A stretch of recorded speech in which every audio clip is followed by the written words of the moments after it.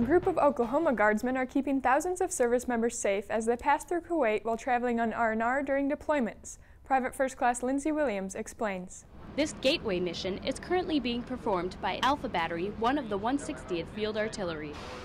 Basically, we show up and guys coming in and out of country on R&R, uh, we escort them to and from wherever they're going. We'll drop them off, make sure everything's secured, and we'll pick up other buses to bring back, and those will be the soldiers coming off of R&R. Uh, we talk a little bit with the LNO on ground so we know roughly how many PAX we're going to have on the buses, how many buses we're going to have. There's a lot of preparation time uh, just to get ready for rolling out.